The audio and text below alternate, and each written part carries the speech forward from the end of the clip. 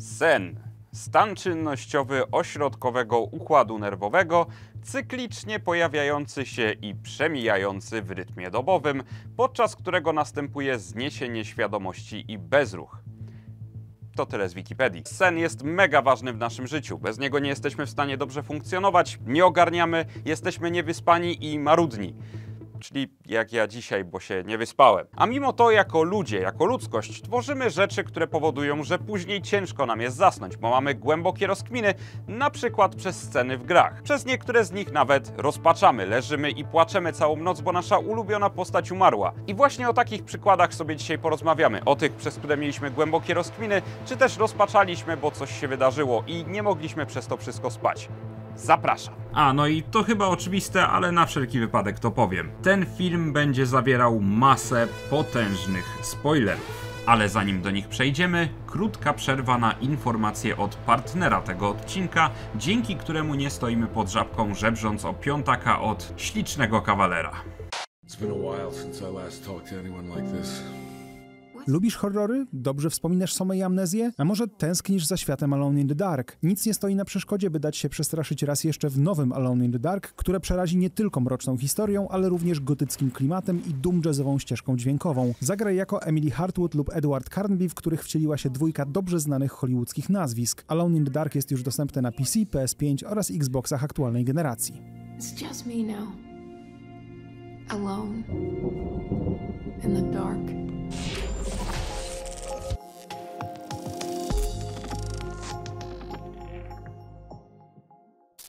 Moje uszanowanie. Uznaliśmy wspólnie z Rusnarem, że nie warto tutaj, żebym po raz kolejny to ja mówił o Red Dead Redemption 2, że ten przykład jest zbyt oklepany. Już wszyscy wiemy, że ta gra ma świetną fabułę, już wszyscy wiemy, że jest piękna, że ja się nią lubię zachwycać, więc no, żeby się nie dublować, żeby nie mówić w kółko o tym samym, to powiem o Red Dead Redemption 2.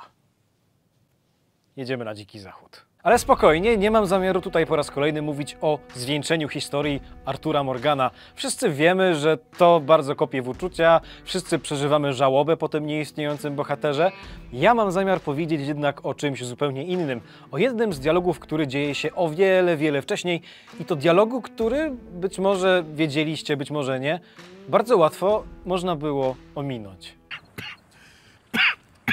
Morgan! Are you okay? Yeah. Never better.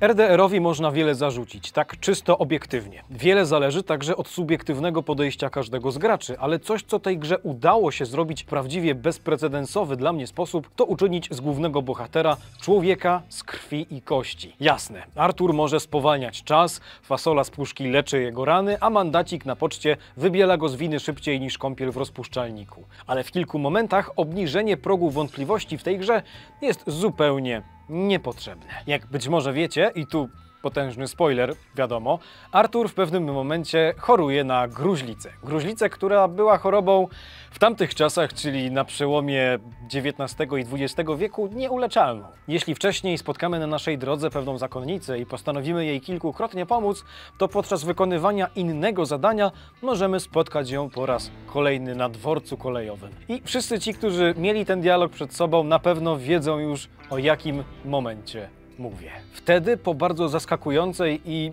zaskakująco otwartej, jak na Artura rozmowie, pada to jedno zdanie. Boję się. Jak pociąg w uszkodzoną furmankę wjechało mi w mózg wyznanie poczciwego Morgana, że ten po prostu boi się śmierci. Człowiek doświadczony przez życie, człowiek, który doświadczył, ale też i sprawił mnóstwo cierpienia, który gruźlicy nabawił się tak naprawdę wydzierając jakiemuś biedakowi kilka dolarów nie swojego długu, gość, z którym spędziliśmy już kilkanaście bądź kilkadziesiąt godzin i towarzyszyliśmy przy najbardziej wzniosłych, niebezpiecznych akcjach, jak i tych najmniej chwalebnych, a wręcz prozaicznych. Dokładnie w tym momencie scenariusz, gra aktorska i ta przegenialna mimika, wszystko zgrywa się ze sobą idealnie. W tym jednym konkretnym momencie czuję, że mam przed sobą prawdziwego człowieka.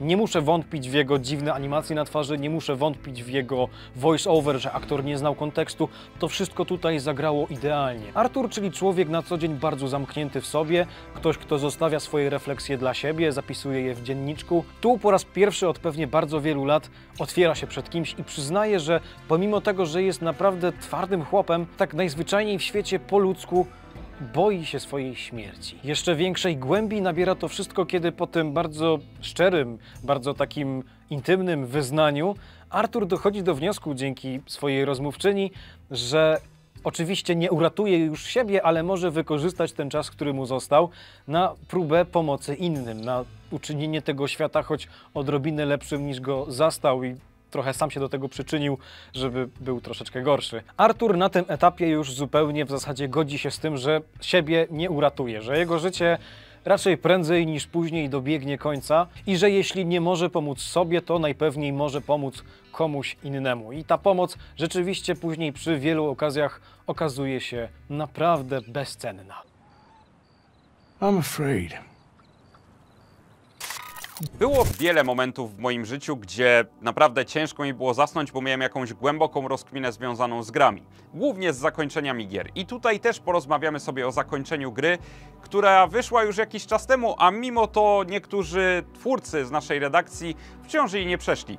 Tak, patrzę na ciebie, Oskar, proszę wyłączyć ten film i iść przejść Cyberpunka. A my porozmawiamy o zakończeniu Cyberpunka. Oczywiście osoby, które nie przeszły gry, proszę teraz wyjść i po prostu musicie przejść Cyberpunka, no nie ma innej opcji. Otóż zakończenia oczywiście były różne, ale każde z nich całkowicie rozłożyło mnie na łopatki. Do tego stopnia, że ciężko mi było spać. Przez niektóre w pewnym sensie z rozpaczy, przez niektóre z zadumy. Powody naprawdę były przeróżne. I właśnie to tak zapadło mi w pamięć, że ta historia wywołała we mnie aż tyle niesamowitych emocji i przemyśleń. Od możliwości ukrócenia swojego żywotu, który patrząc z perspektywy etycznej w zasadzie mógłby być nawet najlepszym zakończeniem, bo przecież to jedyne zakończenie, które nie powoduje śmierci innych osób. Vi zresztą nie jest w stanie przewidzieć przyszłości, no ale chyba wie ile osób zaangażuje się w atak na Arasaka Tower i wie czym to grozi. No ale wracając do samych zakończeń, głównie tych, gdzie atakujemy wieżę Arasaki, no i później kwestie takie jak to, że po wejściu do Mikoshi, no właśnie, niektórzy moi znajomi myśleli, że Vi wraca po tym wszystkim do swojego ciała i jest gituwa. Teraz tylko Panam znajdzie w Stanach lek dla niego i wszystko jest super, mamy szczęśliwe zakończenie.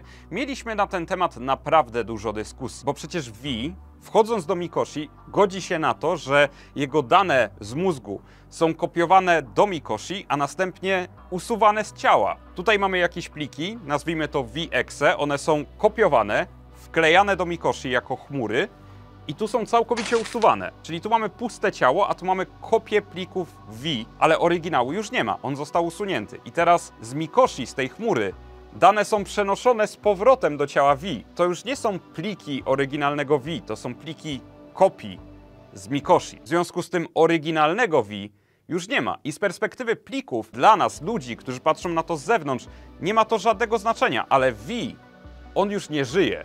Osoba, która jest w jego ciele, to już nie jest on. To tak jakby to był Johnny Silverhand. To jest zupełnie obca osoba, która ma identyczne dane jak Vi. I to jest przerażająca perspektywa, o której naprawdę długo kminiłem przez parę nocy, bo wyobraźcie sobie, że coś takiego dzieje się za kilkadziesiąt lat. I ci wszyscy ludzie dookoła myślą dalej, że jesteśmy sobą, a tak naprawdę my już nie żyjemy.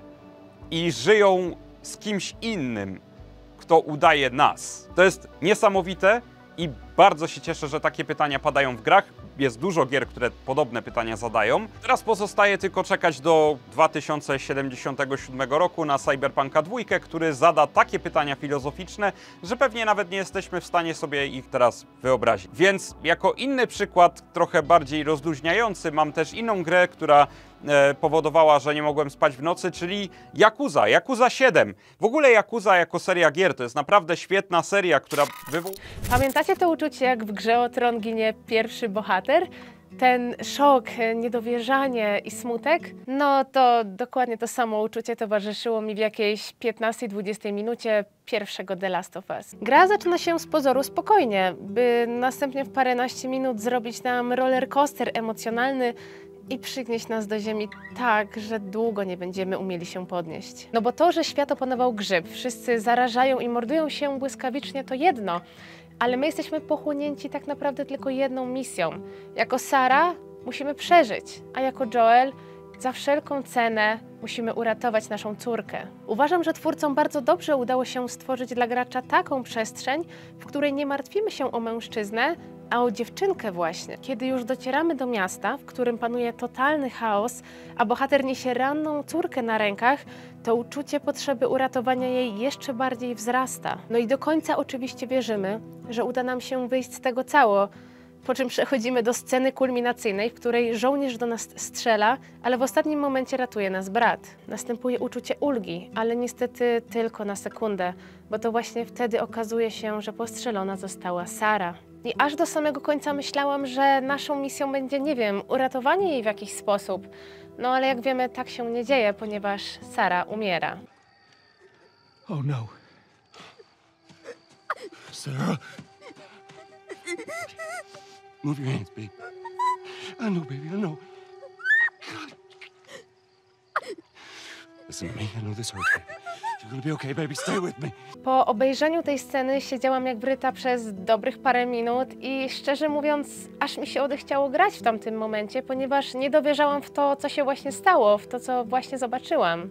Jak twórcy mogli uśmiercić nam postać, zanim gra się właściwie jeszcze zaczęła? Ta scena zawsze bardzo mnie wzrusza, ale za pierwszym razem towarzyszył mi przy tym też po prostu szok. Zresztą uważam także, że świetnie została odwzorowana w serialu The Last of Us. Oczywiście wtedy już wiedziałam, co się wydarzy, ale aktorzy tak świetnie zagrali, że no dosłownie się poryczałam i to uczucie z gry znowu mnie dopadło. No ale ja lubię tego typu historie i uważam, że im gra bardziej nas zmieli, tym tylko lepiej.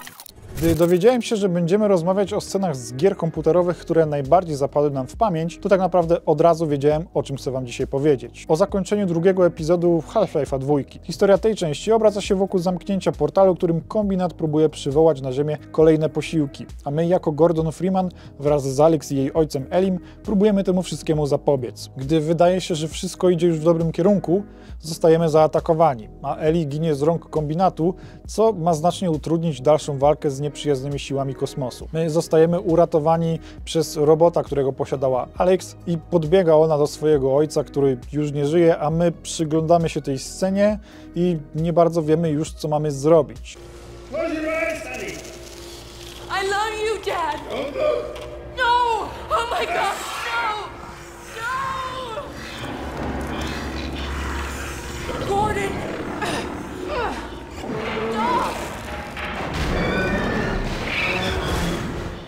I tak to się w sumie kończy. Ja tę scenę niekoniecznie przeżywałem pod względem fabularnym, chociaż historia też mi się tutaj niesamowicie podobała i była bardzo angażująca, ale grę przechodziłem już jakiś czas po jej premierze. Swoją kopię pożyczyłem od sąsiada z naprzeciwka, więc jak skończyłem drugi epizod, to praktycznie od razu pobiegłem do niego i zapytałem o trójkę.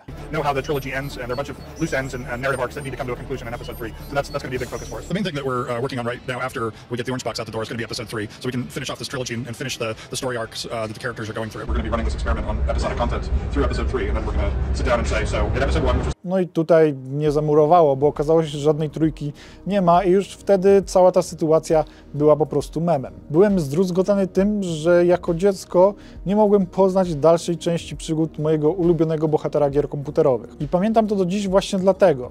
Dlatego, że nie poznałem tej historii do końca i przez to bardzo mocno zacząłem czytać różne wątki, różne wiki na temat tego, co mogło się wtedy wydarzyć. Za dzieciaka moja wyobraźnia wtedy pracowała naprawdę na najwyższych obrotach i wyobrażałem sobie różne scenariusze, ale tej historii do końca nigdy nie poznałem. Co prawda 12 lat później doczekaliśmy się premiery Half-Life Alyx, która pod względem fabularnym była kontynuacją wydarzeń z dwójki, ale szczerze mówiąc, dla mnie to już nigdy nie będzie to samo.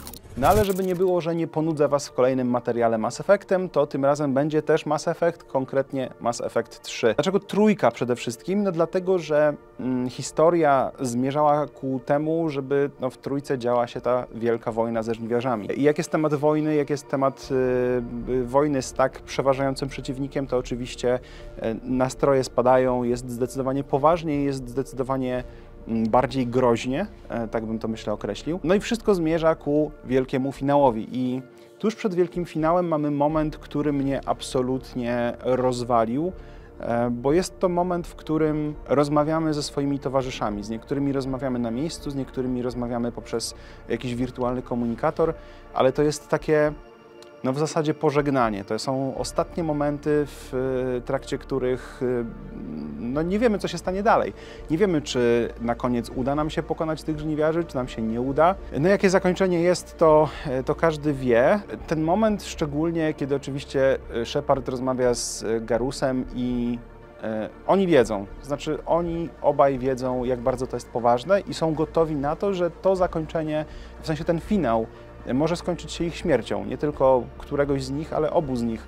E, I tam umawiają się na to, że no, będą na siebie czekali w barze e, w zaświatach. Not sure if Turian heaven is the same as yours, but if this thing goes sideways and we both end up there, meet me at the bar. I'm by. Go out there and give them hell. You were born to do this. Goodbye, Garrus. And if I'm up there in that bar and you're not, I'll be looking down. I'll always have your back. Kiedy żyje się z tymi postaciami od trzech gier, a tak jest w przypadku Garusa, no i kiedy ma się tak dobrze napisanego towarzysza, e, który no, jest ironiczny, humorystyczny, ale jednocześnie bohaterski, który przeszedł swoją drogę również przy użyciu interakcji, jakie następowały z nami, no to takie pożegnanie z, ze słów tego, nie chciałem powiedzieć człowieka, ze słów tego Turianina, no boli. Mm, boli w taki motywujący sposób, żeby jednak się udało. Jest w ogóle strasznie dziwne, że przeżywamy tę sytuację w taki sposób, jakby to się działo naprawdę, to znaczy jakby to były rzeczywiste postacie. Ja wiem, że teraz nagle, o nie, myślisz, że gry to rzeczywistość. No, no nie, ale chodzi mi o to, że dobrze napisane gry, dobrze napisane historie powodują, że myślimy o nich w kategoriach rzeczywistych. To znaczy, że rozważamy, mówimy o odczuciach, które są w kategoriach rzeczywistych i wydaje mi się, że Właśnie to miałem w tych scenach. Już w ogóle nie mówiąc o scenie, kiedy umiera Tain w trójce i umiera, ponieważ e, jego choroba go dopada. Mass Effect 3 nie bierze jeńców. No i teraz wasza kolej. Dajcie znać w komentarzu, jakie inne przykłady przyszły wam do głowy, a ja tymczasem znikam. Dzięki za oglądanie, się nie żegnamy. Do zobaczenia niebawem.